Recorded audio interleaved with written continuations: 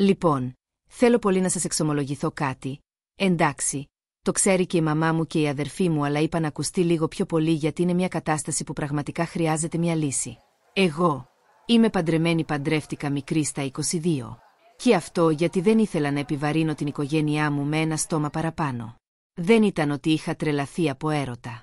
Με τον άντρα μου έχουμε μια διαφορά 13 χρόνια. Αυτός ήταν 35 τότε. Τώρα λοιπόν, 15 χρόνια μετά έχουν περάσει. Έχω τέσσερα παιδιά, το πιο μικρό είναι τρία, το μεγαλύτερο είναι 14 και κανένα παιδί δεν είναι το άντρα μου.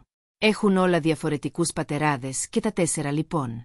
Το πρώτο παιδί είναι του αδερφού του άντρα μου, είναι πιο μικρός από εκείνον παντρεμένος και αυτός, αλλά όταν έμεινα έγκυος ήταν ελεύθερος και είπαμε να το ρίξουμε στον άντρα μου ότι είναι δικό του.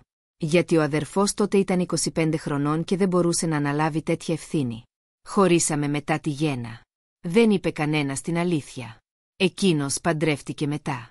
Το δεύτερο παιδί μου είναι μιας γνωριμίας που είχα λίγο μετά για λίγους μήνες, είναι 11 το παιδί. Τώρα αυτός ήταν ένας που δούλευε σε ένα μαγαζί που είναι κάτω από το σπίτι μας και έφυγε κάποια στιγμή.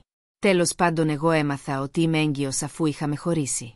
Μετά ήρθε το κοριτσάκι μου, είναι τώρα έξι χρονών.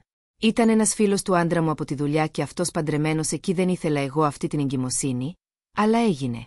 Δεν είχα πολλές σχέσεις και ήμουν άτυχη γιατί ήρθε το παιδί μετά από τέσσερις, πέντε φορές που βρεθήκαμε έτσι έμεινα έγκυος.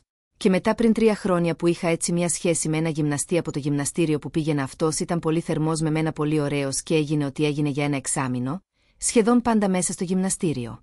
Ξέρω ότι αυτό είναι πολύ σπάνιο, αλλά από την άλλη δεν είναι ότι δεν προσέχω, αλλά μάλλον είμαι άτυχη. Και τώρα είχαμε ένα πρόβλημα γιατί ξαφνικά μου εμφανίζει το αδερφός του άντρα μου και μου λέει ότι δεν μπορεί να αντέχει τόσα χρόνια με όλο αυτό το ψέμα, ότι θέλει να πει στον αδερφό του την αλήθεια για το πρώτο παιδί. Δεν πρόκειται να πω την αλήθεια εγώ, αλλά τι θα κάνω τώρα που αν αρχίσει αυτός να λέει μπορεί την μπορεί σίγουρα, δηλαδή ο άντρας μου θα αρχίσει να ψάχνεται για όλα τα παιδιά. Δεν ξέρω αυτό τώρα πώς να τον καθησυχάσω τον αδερφό του, εννοώ γιατί ούτε βέβαια και αυτός ξέρει για τα άλλα παιδιά μου.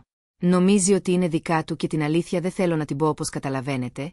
Η μάνα μου μου λέει να μην τον αφήσω τον αδερφό του να του πει κάτι. Και εν ανάγκη να του τάξω και χρήματα. Δεν ξέρω. Γιατί είναι φιλοχρήματος αυτός. Θα καταστραφώ. Θα καταστραφώ, γιατί είναι αμαρτία να είμαι τόσο άτυχη που επειδή έγινε τώρα ό,τι έγινε, δεν ήθελα να ρίξω τέσσερα παιδιά και η μάνα μου δηλαδή που της έλεγα μου έλεγε. Μην τολμήσεις να κάνεις καμιά έκτρωση δηλαδή, και έτσι και εγώ τώρα βρίσκομαι σε αυτή τη θέση και δεν ξέρω πραγματικά τι να κάνω. Έχω απελπιστεί. Αυτή είναι η ιστορία μου.